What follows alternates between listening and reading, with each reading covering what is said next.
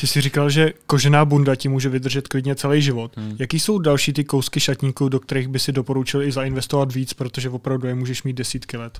Jako Uh, určitě bych prva si řekl, jestli na, jako může se stát to, že třeba jako stlousneš, jo? Hmm. tak to ti potom může vydržet ta bunda dlouho, ale už ti prostě třeba nebude dobrá. Takže prva je dobrý si říct, že třeba jako mám stabilní váhu. a, a určitě, tře- jako co se týče kluků, tak určitě je to, za mě je to oblek a dobrá košile. Oblek na míru prostě stejně jako OK, je oblek z HMK, který někomu, jako někdo má komerční postavu a sedne mu super a je to v pořádku úplně a, a je to OK a někdo nemá na to si dávat za oblek, nevím, kolik stojí oblek na míru 20, 30, 40 tisíc hmm. třeba. A zní to strašně moc třeba teď, jo, ale, ale když je sám dělám a sám je pro ty klienty dělám a vidím vždycky, jak jsou happy, jak se to vyzkouší, jak se to oblečou a fakt jim to sedne úplně jak ulité, ať už mají jakoukoliv postavu, tak eh, to stojí za to.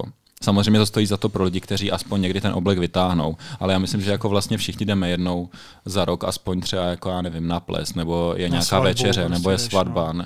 A když máš prostě tmavě modrý nebo černý oblek, tak si ho vlastně jako i na tu svatbu klidně můžeš vzít hmm. i na den, je to úplně jedno ve finále. Dneska už je všechno jedno, když se to tak vezme.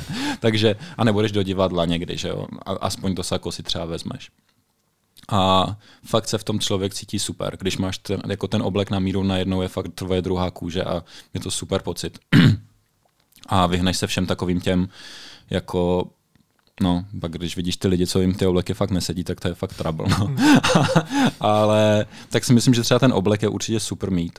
A je to určitě potom nějakou tak kožená, ty věci z kůže, nebo kůže jako taková je super odolná. A často se třeba děje to, že ti dokážou oni vyměnit počívku, která, se, která má menší životnost než ta, než ta bunda, takže ty si v té bundě můžeš nechat vyměnit počívku a používat ji třeba dál. A naopak na rozdíl od třeba jako těch ekologických kůží nebo ekologická nebo jako umělá kůže je prostě plast, že jo. Hmm. Ten se ti roztrhne okamžitě, nebo ten se prostě zničí za chviličku. A je to sezónní věc. A sice jako by se teď říká teda, že je to udržitelné, ale není, protože za prvé je to plast a za druhé se rozpadne za chvilku. No. Hmm. Já třeba zrovna k té kůži jako necítím žádný odpor ani trochu. No. A ty, když děláš ty obleky pro klienty, mm-hmm. jsou něčím extravagantní, nebo pozná to člověk, že to je oblek od tebe na první dobrou? Ale možná, když znáte moje obleky z přehlídek, tak jo, ale jsou to, jsou to jako záleží samozřejmě na klientovi, ale často to jsou fakt jako černé, úplně minimalistické obleky.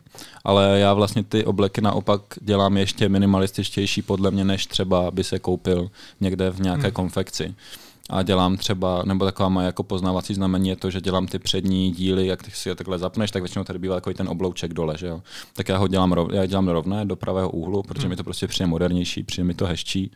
A takže to vždycky jakoby tomu klientovi ukážu, že je tady ta možnost udělat tohle a fakt to je potom v detailech, je to o tom, jaké vybereme knoflíky, o tom, že ty knoflíky jsou třeba z pravé rohoviny nebo jsou třeba naopak z kovu a zase hážou jako trošku zrcátka.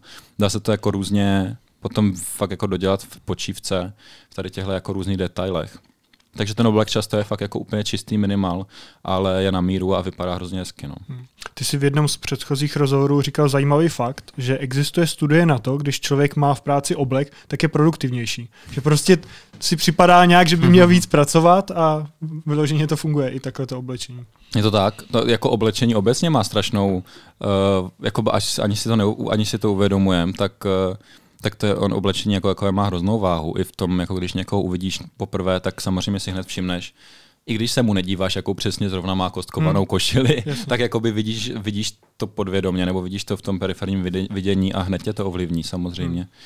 A, a v tom biznisu to je samozřejmě dvakrát tolik, no. Proto, proto ti chlapi, co dělají ten velký biznis, tak ví, že to musí mít, no.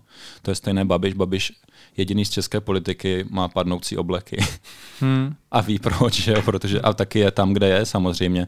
Ať ho máme rádi nebo nemáme, tak, tak eh, jakoby je v pohodě docela.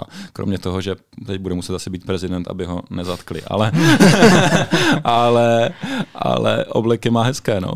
A fakt jako jediný, to je jako jinak, jinak šílené docela, no. A co jsou ty základy, co ty většinou vidíš, že pozná, že to nepadne? Jsou to široký kalhoty, dlouhý kalhoty, uh, není vidět kousek košile?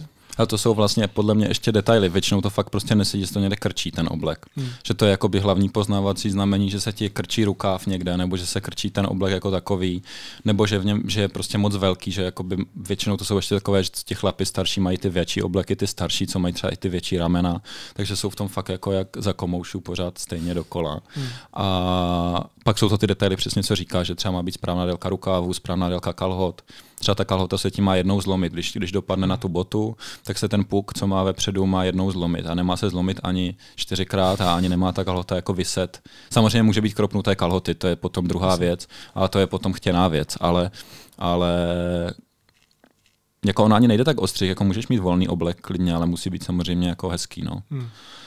A pak jde o barvy, pak jde o tady tyhle přesně věci, jak se to sladí jako s košilí, pak jde o, o barvy, jde i samozřejmě zase v té psychologii, kdy, kdy modrá je barva komunikace, že jo? takže vždycky, když jde někdo něco oznamovat, nebo v Americe to dobře umí ti prezidenti, když se oznamuje dobrá věc, nebo když chceš být za dobrého, tak máš modrou kravatu, když se jde útočit, tak se dá červená kravata, a, ale ono jako je to takhle vtipné, ale dělají to, no, takže ví proč asi.